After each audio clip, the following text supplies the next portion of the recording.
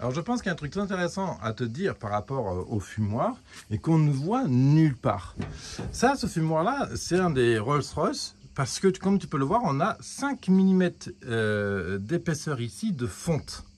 Et donc la fonte, évidemment, donne beaucoup euh, d'inertie. Alors c'est un truc qui capital à comprendre en termes de, feu de bois et de, four, c'est l'inertie. L'inertie, qu'est-ce que c'est? C'est la capacité de ton four à absorber de la chaleur et à la restituer quand tu es en train de, cuisiner. Et alors, je vais t'expliquer justement toutes les fonctions de, ces briques-là, parce c'est exactement à ça qu'elles servent, c'est pour créer de l'inertie. Donc typiquement, imaginons que tu as allumé ton feu et que tu veux cuire au feu de bois. Donc que ce soit des gâteaux, que ce soit du pain, que ce soit de la viande, peu importe, d'accord? Donc, au plus tu as besoin de cuire, au plus tu as besoin de cuire longtemps, et au plus tu as besoin de cuire quelque chose qui a besoin de très forte température, tel que de la pizza ou du pain, on va avoir besoin davantage d'inertie. Et l'inertie, elle va être super intéressante quand typiquement, quand tu vas mettre ton, gâteau, ton plat euh, au four, donc pour ça tu vas ouvrir, tu vas poser ton plat sur les grilles qu'on va installer ensemble, euh, et, et, tu refermes. Évidemment, tu vas ouvrir quelque chose comme peut-être peut 10, 15, 20 secondes. Pendant ce temps-là, toute ta chaleur va, foutre le camp par la porte. Et sauf que là, ta température était peut-être à 240, peut-être elle était à 100 degrés, peu importe, mais elle va chuter énormément. Et c'est là où l'inertie va faire son, son travail, c'est-à-dire qu'à ce moment-là, le feu, lui, continue à tourner ici, et les briques vont relibérer énormément de chaleur, et ce qui fait que ton four, au lieu de descendre, par exemple, de 150 degrés à, allez, disons, 150 à 100 degrés, ben, il va perdre une quinzaine de degrés qu'il va récupérer dans euh, les 30 secondes ou la minute qui suit. Donc ça va permettre de vraiment garder euh, une bonne température et surtout de garder une courbe régulière de la température. Éviter les, pics et, les chutes euh, trop fortes, bien sûr, parce que plus on est régulier sur la température, donc des montées et des descentes rapides, plus on va consommer du, du bois. Donc c'est pas intéressant. Et donc pour ça, donc ça c'est une, étude euh, personnelle, hein, c'est des essais que j'ai fait euh, moi-même, c'est pas quelque chose que, tu trouves sur internet, euh, parce que évidemment mon père agriculteur, il faisait son pain, etc. Il le fait toujours d'ailleurs. et donc four à bois. Donc quand j'étais gamin, c'était tout le truc. Tous les vendredis, on, chauffait le, feu de bois, le, four au bois. Donc mon père a créé des fours avec les briques réfractaires et compagnie, compagnie. Donc là, ça, c'est des très belles briques réfractaires qui sont très lourdes. Je ne sais pas en quelle matière elles sont, mais ça pèse peut-être 1,5 kg, voire euh, peut-être même 3 kg euh, l'histoire. C'est vraiment très très très lourd. Euh, donc après, voilà, il y a d'autres briques réfractaires que j'ai commandées mais que je n'ai pas encore reçues d'une fabrication à Millau en France, qui sont des briques réfractaires de four.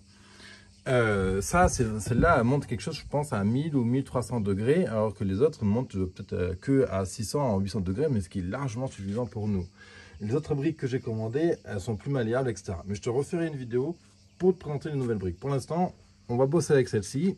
Et donc, là, juste avant, toi, j'ai bien nettoyé mon foyer. Ça serait un truc très important, mais ça sera l'objet d'une vidéo. Et là, je vais t'installer les briques. Donc, les briques, voilà, sont là. Donc, je vais les mettre comme ça. Donc là, l'intérêt, tu vois, c'est que je les cale sur ma grille euh, en, bas, de telle sorte à ce que ça ne me gêne pas pour poser ma grille par-dessus. ce que j'aime bien sur ces briques-là, c'est quand elles ont des, fentes. Et donc ça, c'est super intéressant parce que comme dans n'importe quel four, tout est question de circulation d'énergie. Il y a un flux euh, d'air qui, tourne à, à l'intérieur. Et donc, il faut que l'air puisse absolument circuler. S'il ne circule pas, il n'y a pas de cuisson. Et donc, euh, bah, ces briques-là, avec leur, leur, petit trou là, bah, c'est parfait. Donc, je les redispose comme ça. Donc évidemment, hein, j'ai testé pardon, euh, différents modes d'installation des briques et c'est ce qui me permet de te dire que là, c'est le, mode le, plus euh, intéressant. Par contre, les pas dans le sens. comme ça. Voilà. Et comme tu peux le voir, j'ai mis des briques partout, partout, partout. Voilà. Et là, je me garde cette grille-là parce que ici, pareil, on verra plus tard dans la vidéo du feu, mais je fais un petit foyer de feu ici pour accélérer la chauffe. Donc du coup, grille pour qu'il y ait de l'air qui circule pour le bois et le, charbon. Voilà. Mais sinon, partout, toi, c'est tapissé en, briques. Alors évidemment, je ne peux pas l'accrocher euh, en haut, donc c'est pas grave. Voilà. Voilà. Et ça, comme ça, j'ai une bonne inertie de mon four et c'est avec ça que je vais pouvoir euh, cuire des gâteaux, euh, des viandes pendant plusieurs heures. Et c'est ce qui me permet bien sûr d'économiser énormément de bois. Et pareil en termes d'inertie, là c'est le foyer, comme tu peux voir, j'ai mis une autre brique aussi sous le feu. Donc comme tu vois bien, ça c'est quelque chose qui est très important à comprendre, c'est des briques, c'est bien, mais il faut vraiment que ton air circule. S'il n'y a pas de circulation d'air, tu vas tout le temps être emmerdé pour faire ton feu. Donc sous la brique, là, tu ne le vois pas, mais il y a un léger espace. Il y a de l'air, tu vois, qui va circuler par monter par là. On a l'espace entre ça et la, entre la grille et, la brique. Euh, j'ai enlevé toute ma cendre là juste avant. Et du coup, on est nickel. Et je vais faire encore une autre chose. Je vais récupérer une autre brique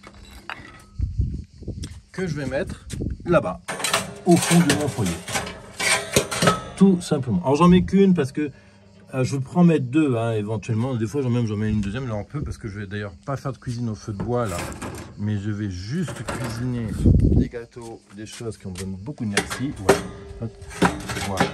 Et ça, ça va vraiment augmenter euh, mon énergie de, malade dans, mon truc. Parce que ces briques là, ces trois briques là, vont absorber de la chaleur du feu, parce que puisqu'on va faire le feu ici même, et dès que tu vas mettre du nouveau bois dedans, par définition, ton bois va être plus froid que ton feu. Ton feu, il je vais dire des bêtises peut-être, parce que ça, je ne sais pas exactement, mais peut-être il est à 600 degrés, 400, 600 degrés. Et donc, quand tu mets un bois froid dessus, eh bien, il va, ce bois-là va prendre l'énergie du feu pour se chauffer, monter en température et donc s'enflammer. Donc, c'est pour ça que c'est très intéressant d'avoir toutes ces briques-là, parce que du coup, elles, vont chauffer beaucoup plus rapidement euh, tes morceaux de bois que tu mets dedans. Et donc, du coup, euh, l'énergie que, le bois va prendre, ne va pas le prendre dans le foyer. Et avec ce, petit système-là, eh ben, je peux avoir une énergie constante et régulière dans mon feu pour plusieurs heures. Tu vois, là, il est à peu près, je crois, 14 heures au moment où je tourne cette vidéo. Et le feu va être allumé jusqu'à 18 heures ce soir, à peu près. Euh, et je vais consommer, on verra combien j'ai consommé, mais normalement, je vais consommer un tiers de, euh, la, moitié peut-être, c'est pas régulier comme, euh, installation, mais peut-être la moitié, pas plus, de, mon, de mon bois. Et quand je vais arrêter mon feu, lui par contre, il va continuer à chauffer. C'est-à-dire qu'il va, il va beaucoup de chaleur et je pourrais même peut-être encore cuire pendant une heure derrière. Voilà, voilà pour l'inertie. C'est quelque chose de capital dans ton feu de bois, d'où les briques. Les briques, pour info, je les ai trouvées d'occasion sur le bon coin. Donc, euh, tu n'es pas obligé d'acheter ça neuf. Allez, à plus.